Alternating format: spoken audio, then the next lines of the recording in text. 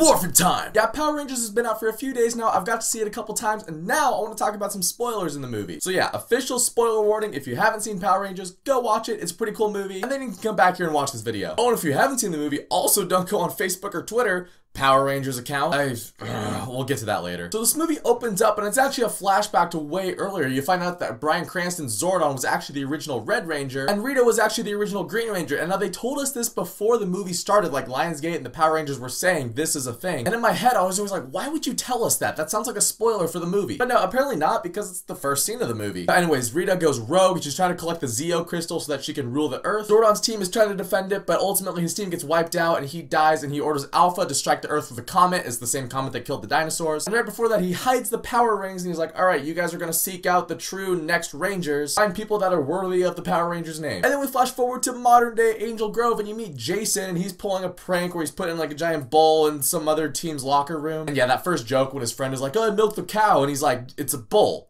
It's it's a male. And his friend shines the flashlight on the little bull penis, and I was like, okay, it's a Transformers joke. Part of me is kind of like, yeah, they're in high school, and that's kind of how high schoolers are. Granted, I don't know a high schooler that's that stupid. I will say it feels better for a high schooler to say that joke than it does for John Turturro to say that joke. But the plan goes awry, and Jason lands in this car crash where he rams into the front of a car and then somehow flips. I don't get the physics of that. But now he's being monitored. He's got a little ankle brace and he has to spend every Saturday in detention at Angel Grove High School. And it's at this point where we're starting to get introduced to the full cast of the Power Rangers and I really liked how Jason and Billy, first of all, I like the fact that Billy has autism. It's not like a severe case or anything. I was just thinking, I like how in the TV show, Billy was really nerdy and he was really smart and that's why he didn't really connect with a lot of people. He was like, yeah, affirmative, Alpha. But in this movie, Billy is still smart, yet he can't really connect with people because, you know, his brain works a little bit differently. He can't pick up on people's jokes. With that scene when that Carrot Top bully went up to Billy and he was like cracking his pencils. Jason goes up, he just slaps him in the face. There was something really gratifying about that slap. And Billy was just like, Did you slap me? And Jason's like, Yeah, I did. And you can tell that really just spoke to Billy because it was the first time Billy in his life felt like he had a friend. The first time in years, anyways. Probably the first time since his dad died. And then Billy and Jason, they go to this gold mine where they see Kimberly and Zach and Trini. And they go and Billy causes a big explosion that reveals the power coins, which kind of leads to some of my more nitpicky stuff about the movie. Watching the movie the second time, it did kind of make me realize a couple things where I'm like, they didn't really think that through all the way, or I don't see how A and B ended up at C. One of those things is when they're leaving the gold mine and they're escaping in Billy's van, they do like the Fast and Furious thing where they're like, oh, we can make it, we can make it, we can make it. When this train's coming at them, and I'm bravo for the movie because I thought they were going to make it. But no, they're like, yeah, we're gonna make it.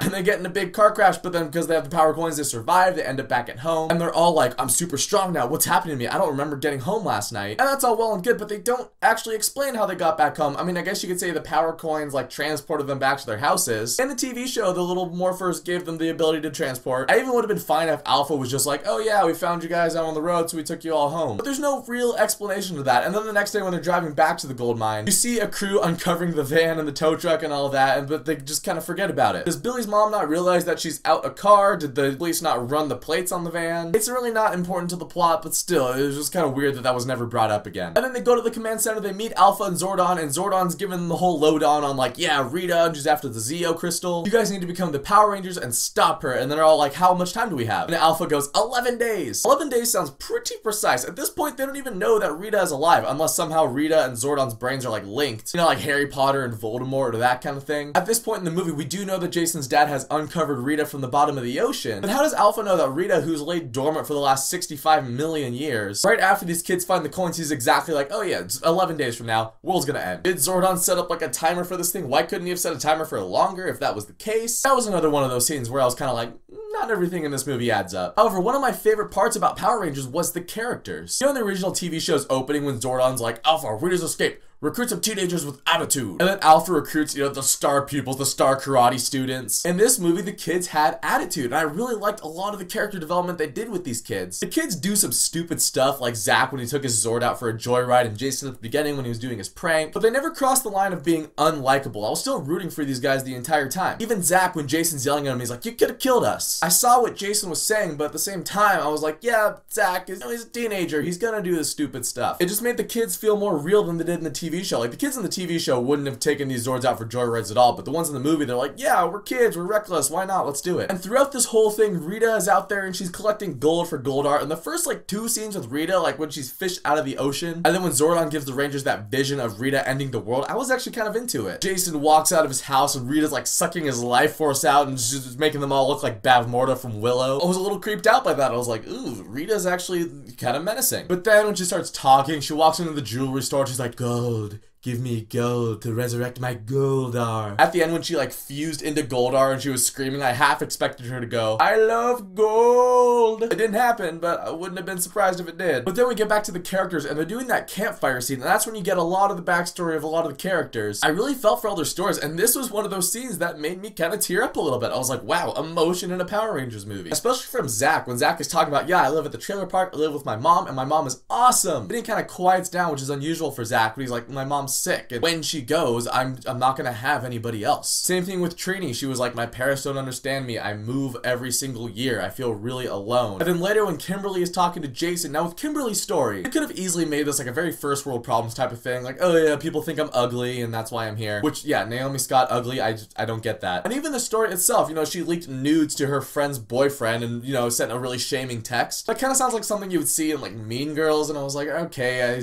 sure, whatever. But I like how they went further with it. And she really realized the error of her ways. She was like, I had to sit there in the principal's office as he showed this girl's father the picture that I sent, and the look of horror on his face made me realize what a terrible person I am. And I felt really bad for Kimberly because you we've all been in that situation where you do something, you really think nothing of it, but then down the road you start to see the effect that that decision had on other people, and it makes you kind of pull back and you're like, what? What was I thinking? And then Jason basically tells her, like, you're gonna make these mistakes, you, you, gotta learn to live with them. And all throughout this movie, you know, we saw in the trailer there was a scene with Kimberly and Jason and they were kissing. At no point in this movie did I really feel like they had anything, and I'm really glad that they cut that out of the movie. Even at the end when they're getting pushed into the lava pit and Kimberly puts her hand up to the, the window of her pterodactyl and Jason looks at her, I still felt like that was more of a friendship thing. To me, it honestly felt like Zach and Trini had more of a romantic connection in this movie than Kimberly and Jason did. So I like how they didn't have to force a love story into this movie just because it's like, you know, a young adult type of movie. This is Lionsgate after all. I'm glad they didn't feel the need to force in a romantic subplot. And because those characters are so good, you know, you get to the moment in the movie when Rita finds out where the Zeo crystal is, and yeah, it's, it's underneath a Krispy Kreme, which is stupid, and I'll talk about that more in a little bit. But then she kills Billy. Like, she actually legit kills Billy. Billy is dead. And of course, you know that Billy's gonna come back to life, but what a good movie is able to do is for a second, it makes you forget that fact. And for me, I forgot the fact that Billy was gonna come back. Like, I figured, you know, Billy's gonna be back. But when they're in the command center and Jason's like, Zordon, you, you have to help us. And they're all saying like, I would give my life for you, Billy. I'd give my life for anybody on this team. That was another scene. I started tearing up and I was like, oh my gosh, they're a team. And the arc with Zordon too, that was really great. At first, Zordon is kind of a jerk. Zordon essentially wants these kids to access the morphing grid so that he can resurrect himself and he can go fight Rita. And Jason calls him out on it. He's like, you're just using us so that you can resurrect yourself. And Zordon doesn't hide that fact. He's like, yeah, I don't trust you guys. You guys aren't ready to become the Power Rangers. You guys are weak. You guys can't stop Rita. But in that scene when the kids are talking about, you know, I would die for you, I would die for you, I feel like Zordon, that was the moment when Zordon was like, all right, my team is dead, I failed. It's time to fully pass the torch on to this new generation. And because they now feel like a team, they've accessed the morphing grid and Zordon is able to resurrect Billy instead of saving himself. It was just such a sigh of relief seeing Billy come back and it was a cool conclusion to Zordon's story arc. Again, I just wasn't really expecting Zordon to have an arc in this movie and he did and they didn't have to do that, but they did and I thought it was cool. See, what I like about this movie is that with all the character development that they do, when you get to the Power Rangery stuff at the end of the movie, like when Jason stands up on that portal and he says, it's morphin time, that scene felt earned. I felt at that point the Power Rangers are a team. You know, you look at a movie like Suicide Squad and El Diablo's like, I already lost one family, I'm not gonna lose another. And you're just like, you guys met, what, like this morning? And you guys are a family? Really? And this movie takes place over the course of like 11 days, maybe even a little less. And I felt like these kids are now a family, they're a team. So when they get up in their Power Ranger suits and they're just kicking the crap out of all those putties on the cliff, I was like, yeah, they are a team. They've earned this. This is awesome. Then they all hop on their Zords and they're tromping into the town with the awesome Power Rangers theme song playing, which I'm so glad they had in this movie. I would have liked the song to be in the movie for a little bit longer. Maybe like instead of them playing Kanye when they're wiping out the putties, just keep the theme song song going. Why not? But when they're going to the town and they're talking about Rita's plan, I swear, like every other line that is said has the words crispy and cream somewhere in that sentence. It's actually hilarious at a point. They're like, Rita hasn't found the Krispy Kreme yet. Okay, what should we do? All right, you guys circle around the Krispy Kreme. We're not gonna be able to get to the Krispy Kreme in time. And it's like every other line they mention Krispy Kreme. There's a scene when Rita is just sitting in the Krispy Kreme and she takes this really like slow commercial style bite out of a donut. I get it, product placement. I know Krispy Kreme probably paid a lot to be in this movie, but couldn't they have just made it like Ernie's juice bar from the TV show? You know the little rec center they all hung out at? Then you can see those bullies that were bossing Kimberly around. You can see the little ginger bully from detention, maybe even put Bulk and Skull in there. And you can see Ernie. Ernie was a cool character. I feel like that's just an easy way to do a little throwback to Power Rangers without having to put in all this product placement. But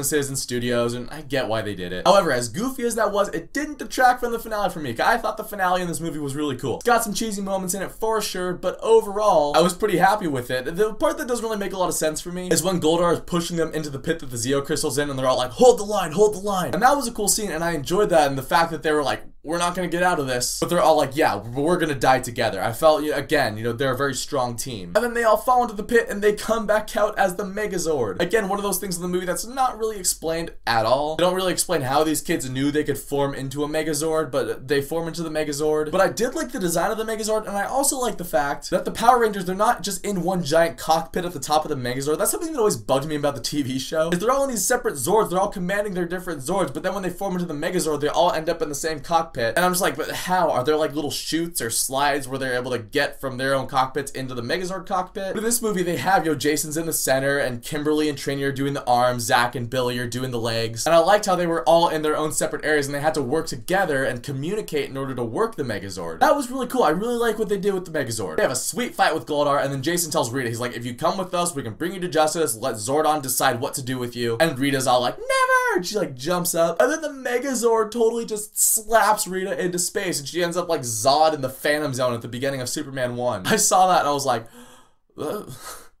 I guess this is a Power Rangers movie, isn't it? Again, cheesy scene, but it's Power Rangers. But then they save the day and the crowd's all cheering for them and Jason David Frank and Amy Jo Johnson have a little cameo. Yeah, did you guys see that at the end of the movie, Amy Jo Johnson and Jason David Frank? They were two of the citizens that were taking little like cell phone videos of the Power Rangers. And then we get a little monologue from Zordon basically saying, yeah, the Power Rangers, they're a team. And then the movie ends and I was like, yeah, awesome Power Rangers movie. But there's probably something at the end. Sure enough, in the middle of the credits, they have a detention scene and the guy doing detention, he's like, all right, new student, Tommy Oliver?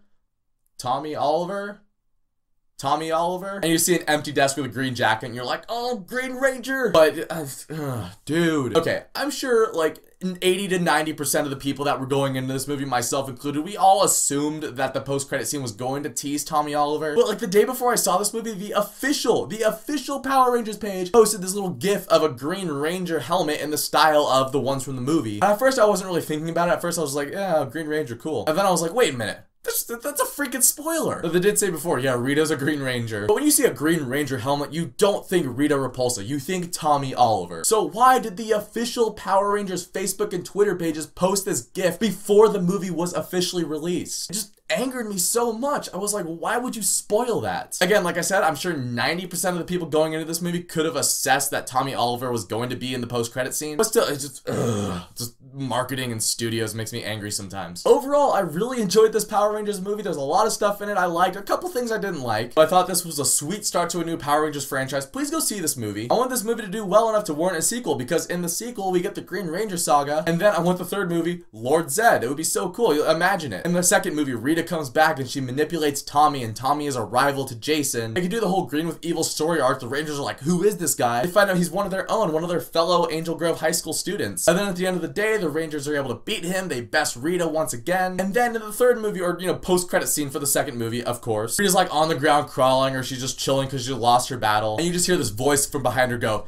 it's time for a change in command. And then boom, Lord Zedd for Power Rangers 3. Wouldn't that be cool? I, I, I, want that so bad. So Power Rangers was an awesome movie. Honestly, Rotten Tomatoes, I don't get that. Okay, I get how Rotten Tomatoes works, and I get this movie isn't for everybody. If you're not a fan of the Power Rangers, I could see you not liking this movie. But what is it, like a 45, 47% on Rotten Tomatoes? I think this is a fresh movie. Whether that is barely fresh or even a little bit higher. But now Power Rangers, anything and everything you want to talk about, spoilers, non-spoilers. Let me know down in the comments what were some of your favorite parts of the movie, and thank you so much for watching this video. If you guys liked it, you can click subscribe and check out some of my other videos, and I'll catch you guys next time.